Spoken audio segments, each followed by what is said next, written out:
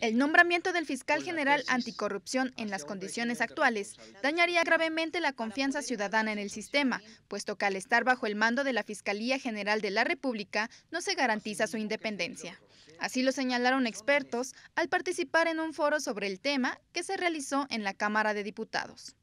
Porque con el andamiaje y la estructura legal que tenemos, nos vamos a llevar un mal sabor de boca.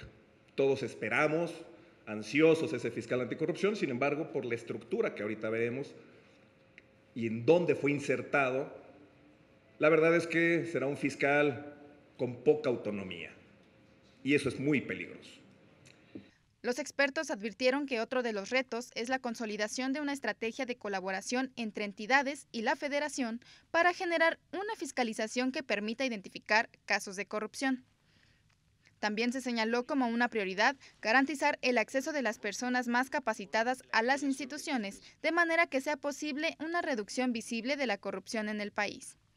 Hoy en día no hay agentes del Ministerio Público de la Federación especializados en hechos materia de corrupción. Y señores, se necesita especialización, por supuesto, porque no eh, debemos entender el cambio en la norma y por lo tanto esto traducirlo al proceso, al campo de juego. Informaron que las 32 entidades federativas ya hicieron reformas constitucionales para integrar a nivel estatal el sistema anticorrupción.